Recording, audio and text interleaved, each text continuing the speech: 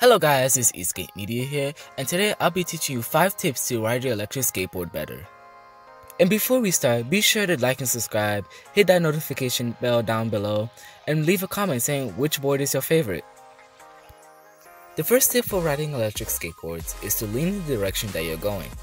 Many beginners will just jump on the board and accelerate, and what ends up happening is all the weight is on the back foot, and when they accelerate, their body flies backwards.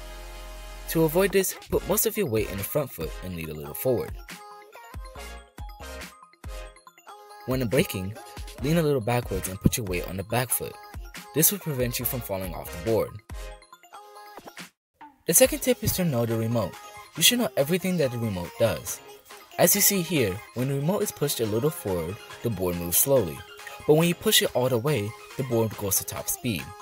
Knowing these things before you ride could save you from injury. The third tip is to take care of your wheels and components. With some boards, it might mean to change belts every few months or clean pulleys. With other boards, it might mean changing urethane and switching wheels. You should be doing regular maintenance on your board at least once a week. The fourth tip is to know the general terrain of your routes. I say this because some boards are made for specific terrain. Street boards are made for streets, paths, and sidewalks, and can sometimes go into grass if necessary. AT boards are made for all terrain, from dirt roads to streets. Using a street board for off-roading could damage the board and could void your warranty. The fifth tip is just to have fun. These boards are generally good at getting you to point A to point B, so why not have fun as you're riding? But be sure to have the appropriate safety gear while riding.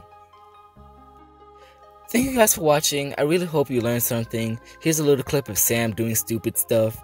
And I'll see you guys next time.